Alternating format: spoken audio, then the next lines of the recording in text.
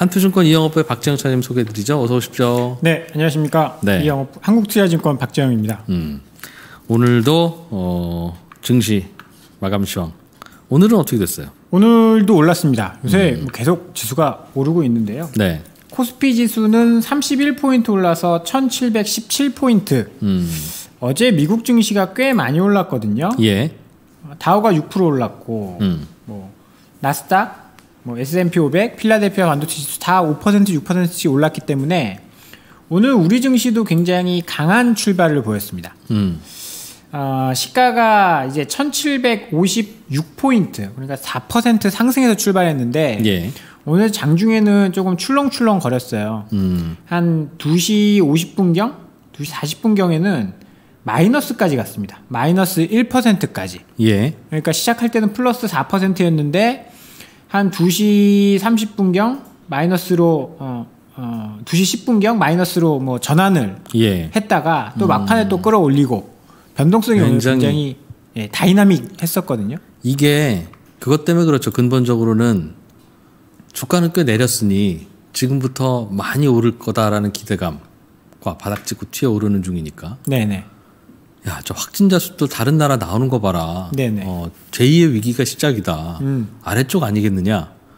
또 양쪽 다 이게 설득력이 있다 보니 오르면 오르는 대로 쏠리고 내리면 내리는 대로 쏠리고 혹시 그러는 거 아니에요? 그런 것 같습니다. 그뭐 음. 미국 증시가 굉장히 강하게 출발을 했는데 또 부정적인 것들도 또 많았어요. 네. 뭐 앞서 그뭐 숫자도 말씀을 하셨지만 경제 지표들이 다 엉망진창으로 나오고 있거든요. 음. 그런 것들을 보면서 사실 불안하죠. 네. 저점에서 산 사람들은 조금 팔고 싶기도 할 거고 그런 것들이 종합적으로 반영을 하면서 서로 막 올랐다 내렸다 올랐다 내렸다 음. 하고 있는 그런 모습입니다. 코스닥은 오늘 그게 더 심했거든요. 네. 코스닥도 이제 뭐 한 3.7% 4% 가까이 상승해서 출발을 했다가 아, 뭐 아까 이야기했던 그 2시 10분경 네. 그때는 무려 2.7% 마이너스로 네. 이게 뭐 등락폭은 더 컸죠. 음. 굉장히 큰 폭으로 하락을 했다가 또 다시 반등을 하는 뭐 상황이었고 최근에 또 뭐 코로나 치료제 뭐 이런 이야기들이 나오면서 난 뭐 코로나 치료제 우리도 개발할 거야 이러면서 상한가 가는 종목들이 코스닥에서 막 어마어마했거든요. 막 열몇 종목씩 상한가 가는 종목들이 나왔어요. 오늘요? 네, 오늘 그러니까 장중에 자, 오늘 장중에? 네, 장중에 뭐 열 종목씩 상한가 가고 막 그랬었거든요. 음. 이제 그런 것들이 사실 조금 불안했던 거죠. 그러니까 사실 만들던 거 저희도 코로나도 든다 한번 써보겠습니다 하는 거잖아요. 그죠? 그렇죠. 어. 그 저번 주- 이번 주 이번 주였는지 저번 주였는지 정확히 기억이 안 나는데 네. 셀트리온이 아 우리 장 끝나고 뭔가 중요한 계획을 발표할 거예요. 아. 코로나 관련돼서. 네. 그래서 상한가 가고 그 장 끝나고 보니까 코로나 관련돼서 우리가 계획 이렇게 이렇게 할 계획을 발표했다. 음. 성공했다도 아니고 네. 그런 걸로 해서 막 상한가 가고 그랬는데 그런 것들이 오늘 변동성을 조금 키우는 요인으로 음. 작용을 하고 있다라고 봐야 될 것 같고요. 요즘 바이오 업체들은 다 그런 건 아니겠습니다만 어, 한 2년쯤 전에 저희 그 이제 이번 정부 들어오기 시작해서 코스닥 코스닥 벤처 펀드인가요? 네네. 어, 그런 거 많이 만들면서 그때 끌어들였던 어, 스- 전환사채들이죠. 네네네. 어, 그때 자금들 지금 아마 주식 전환 못 하고 있을 거고 주가 많이 그렇겠죠. 내려놔서 어, 많이 내려와서. 그러면 증자를 해서 갚거나 네. 아니면 시비 발행을 한번 더 해서 갚아야 되는데 네. 이러나 저러나 주가를 좀 끌어올려야 되는 바이오 업체들이 굉장히 많을 거라고요. 그렇죠. 음, 잔치 열렸네요 이번 요즘에. 일단은 뭐 그래서 그쪽의 분위기는 굉장히 좋은 상태고요. 음. 근데 뭐 그거부터 오늘 준비한 내용 중에 그런 거 그런 거부터 내용을 좀 먼저 말씀드리면. 예. 이 백신 관련된 종목들, 치료제 관련된 종목들은 사실 좀 주의를 하셔야 돼요. 예, 현실을 봐야 되는 거거든요. 음, 뭐, 뭐, 길리어드 같은 다국적 기업? 이런 데서 만약에 만든다고 하면 그런 데서 결과가 나오겠지. 예. 우리처럼 이 영세한 데서 치료제가 나올까라는 생각도 한번 해봐야 되고 뭐 그거야 반드시 그런 건 아닐 수 있습니다만 확률상 뭐뭐 그렇죠. 경쟁력이라든지 꼭 만들어야 되면 예. 요즘 길리어드 주가 보면 그닥 별로 안 좋은 듯한 느낌이 들어요. 그래서 그렇고 음. 네. 지금 2003년도 사스, 2015년 메르스 음. 아직 치료제와 백신이 없답니다. 아 백신도 없고 치료제도 없고. 네. 왜냐하면 시장 형성이 되느냐 안 되느냐에 따라서 음. 또 개발 수요가 있는 거고 그렇지 않을 수도 있거든요. 네. 지금 올해는 이렇게 이게 창궐하지만 내년도에 또 이렇게 될 거라는 보장은 없거든요. 음. 시장 수요도 굉장히 중요하고 그러게요. 만들어 놨지만 내년에도 팔릴지 어떨지. 그렇죠. 2009년에 신종플루 요거는 백신이 만들어졌죠. 네. 타미플루라고 약이죠, 약. 치료제. 약이죠. 치료제, 치료제. 네. 아, 백신이야. 죄송합니다. 음. 그래서 그게 뭐 사실은 그 GSK라는 회사에서 만들었는데 음. 이 매출이 반짝 이제 한 이제 2년 정도 반짝 네. 13억 달러 2009년도에 2009년도에 13억 달러 네. 아 2010년도에 어, 18억 달러 음. 그리고 그 다음 해부터는 매출이 10분의 1로 훅 급감했다라고 합니다. 나중에 각 국가에서 그래도 쟁여놨으니까 그 정도 팔리죠. 그 뭐 그렇겠죠. 네. 어. 어, 그거 쟁여놓은 거 아니었으면 쟁여놨다 이제 유효기간 지나니까 처분하고 이제 음. 또 줄여놨겠죠. 근데 지금 그, 그 이후로 한 10년 동안은 거의 10분의 1 매출이 안 됐다라고 합니다. 네. 그래서 그런 것들을 보면 이게 정말 시장성이 있는지도 한번 따져봐야 될 것 같아요. 음. 지금 막 너도 나도 알겠습니다. 막 그것만 붙으면 막 급등하고 있는데 그런 데는 사실 좀 어, 뭐 단기적으로 보시는 분들은 모르겠지만 휘둘리면 좀 위험할 수도 있다라는 네. 생각이 좀 들고요. 음. 오늘 중요한 건 환율이 22원 20전이나 하락을 했습니다. 음. 2000, 아, 1210원. 그러니까 거의 우리가 위기 상황 이전까지 내려왔다. 물론 이제 1200원이라고 그렇게 낮은 환율이라고 볼 수는 없는데 네. 그래도 1300원을 볼 뻔 했는데 음. 며칠 사이에 볼 뻔 했는데 또 굉장히 급격하게 환율이 안정화됐다라는 것은 네. 시장이 좀 안정을 찾고 있다라는 증거로 볼 수 있거든요. 예. 어, 원달러 환율이 1210원까지 내려왔다 하는 것은 우리 시장의 긍정적인 음, 요인이었다라고 볼 수 있고요. 네. 반대로 외국인은 여전히 오늘도 외국인은 코스피 시장에서 3,723억 순매도했고요. 예. 코스닥에서는 1,140억. 요새 개인이 정말 어마무시한 금액으로 시장을 사고 있습니다. 음, 외국인은 팔았어요 그 금액만큼 그렇, 어, 그렇다는 더 많이? 팔았. 예. 예, 이 외국인은 3,700억 음. 팔았고 네. 코스피에서 코스닥에서 예. 1,100억. 음, 그걸 이제 개인과 기관이 샀는데 기관은 별 도움 안 됐고.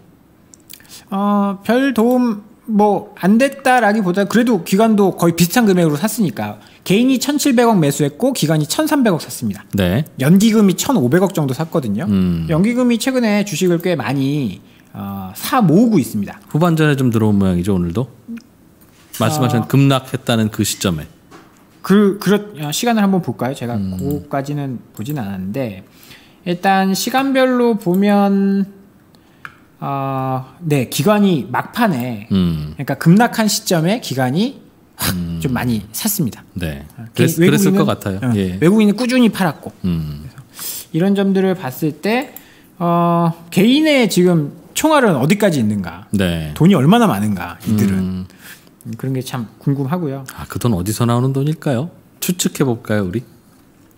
일단 금리가 낮으니까 은행에 저금 이런 거 안 하는 음. 거고 음, 부동산이 조금 뭐 부동산 살 돈은 좀 안 되고 네. 그런 돈들 그런 돈들이 좀 많이 들어오는 거겠죠. 그렇겠죠. 네. 음. 또 어떤 뉴스들이 오늘 시장에서 관심 있게 받아들여졌습니까? 오늘 나스닥 선물이 장중에 이제 조금 밀리면서 우리 시장도 급격하게 하락을 했거든요. 요즘 그것 따라 왔다 갔다 하죠, 정말. 네, 그거를 뭐 거의 보고 나스닥 선물이 올라가면 뭐 올라가고 네. 그런 것 같은데 음. 오늘은 이제 어제는 미국 상원에서 2조 달러 경기 부양책이 만장일치로 통과됐다는 소식을 전해드렸는데 음. 이제 하원이 남았습니다. 근데 한 공화당 하원 의원이 네. 이번 부양안에 구두 투표를 반대해서 하원 표결이 지연되고 있다라는 뉴스 보도가 나왔어요. 구두 투표가 뭐예요? 구두 투표라는 거 저도 사실 몰랐는데 구두 투표가 있고 호명 투표가 있다라고 합니다. 음. 구두 투표는 안 가도 된대요. 네. 그냥 말로 하는 거고 호명 투표는 어, 거기 좀 가서 해야 된다라고 음. 합니다. 그리고 이제 구두 투표는 호명 투표에 비해서 정족수 과반을 채울 필요가 없어서 네. 뭐 통과되기가 더 쉽다. 아, 알겠어요. 직접 투표하러 올 건지 그렇죠. 아니면 그냥 뭐 온라인 투표든 편지 투표든 어, 비대면 언택트로 할 수 있는지 그 형식 네네. 가지고 싸우는군요. 네네. 그래서 이거를 통과 안 시키겠다가 아니고 네. 음. 이것도 힘겨루기 하는 것 같아요. 서로 네 방식이 맞니 내 방식이 맞니 뭐 그런 건데 이게 어 그 방식 자체를 바꿀 가능성 그러니까 이 통과 가부를 결정할 그런 요인은 아니, 라고 지금 시장에서도 보고 있는 거거든요. 예. 근데 약간의 뭐, 그 뭐 주말 앞두기도 하고 하니까 네 음. 그런 것 때문에 불확 불확실성이 커지면서 시장이 한번 좀 출렁출렁 어, 거렸다라고 어, 보면 될 것 같습니다. 예. 요즘 바닥 찍은 거냐 아니면 아래로 내려가기 위한 다시 한번 잠깐 평평한 거냐는 질문 많이 받으실 거고 네네. 그게 제일 궁금한 건데 네. 뭐라고 답 하는 분들이 많아요? 이게 질문 너무 돌려서 드리는 건가? 일단은 네. 저는 이제 증권사 보고서 이런 것들을 많이 보니까 음. 이 저희 같은 사람들은 말할 때 그냥 느낌보다는 근거를 가지고 와야 네, 되잖아요. 네, 예. 그 근거는 사실 대부분 느낌 같은 느낌 이런 건 안 되지 않습니까? 음. 지표를 봐야 되는데 지표는 굉장히 안 좋게 나오고 있어요. 음. 이제 시작이니까 뭐 어쩔 수 없는 거죠. 네. 영향을 받고 그러니까. 근데 모든 지표들이 좋은 지표가 하나도 없습니다.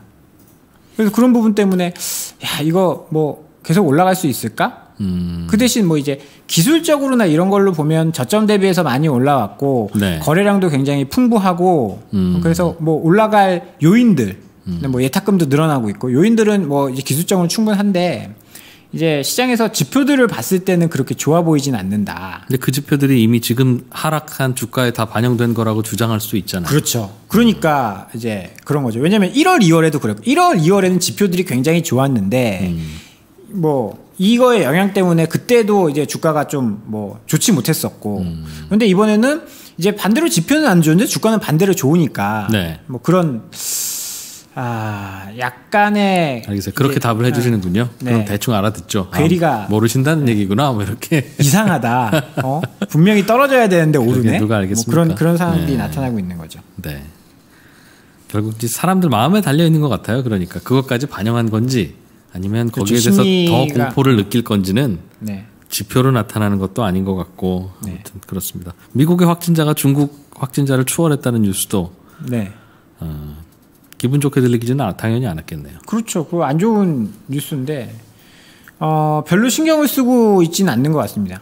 음. 이것 때문에 또 2조나 푸는 거 아니 2조 달러나 푸는 거 아니겠느냐라고 어, 반응하고 있는 것 같고요. 이게 사실 제일 중요한 뉴스들은 아니에요. 이게 확진자 수가 계속 늘어나고 있다는 건 생각할 수 있는 가장 최악의 상황도 한 발씩 가까워진다는 뜻일 거고, 아 이거 진짜 컨트롤 안 되는구나.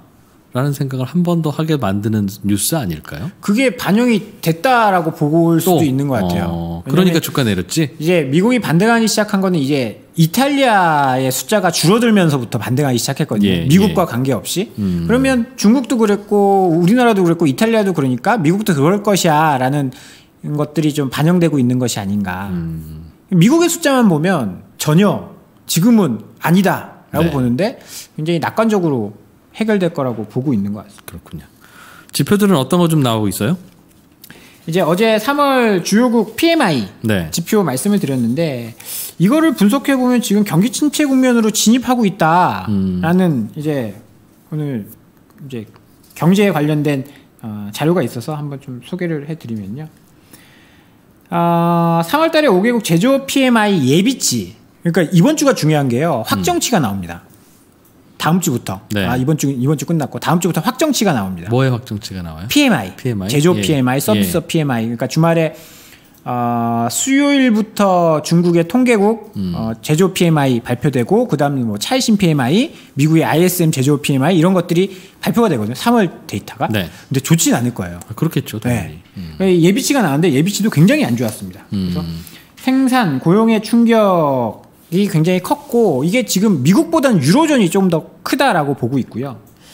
2020년 1, 2분기 경기 하방 압력이 지속되면서 역성장이 될 거다. 왜냐면 이게 3월에서 그치는 게 아니라 지금 4월까지 갈 기세거든요. 네. 2008년 상황을 보면 2분기까지 영향을 좀 미칠 수 있다. 이런 추세면 그렇게 보고 있고 오늘 또 한국은 3월 소비자 심리 지수가 발표가 됐 그러니까 어, 소비자 동향 소비, 네.